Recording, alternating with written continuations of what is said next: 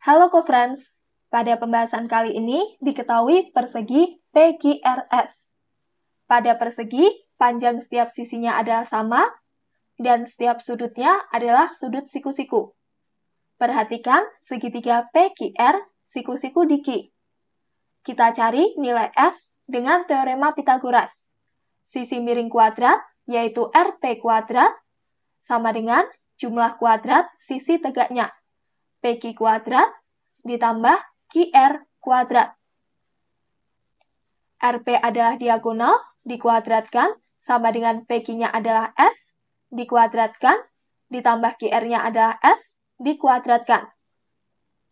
Diagonalnya 23, dikuadratkan, sama dengan 2S kuadrat. 529 sama dengan 2S kuadrat maka S kuadrat sama dengan 529 dibagi dengan 2. S kuadrat sama dengan 264,5.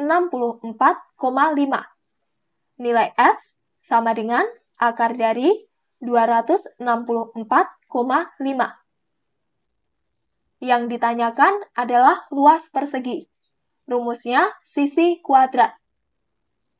Sama dengan akar dari 264,5 dikuadratkan. Sama dengan 264,5 cm persegi.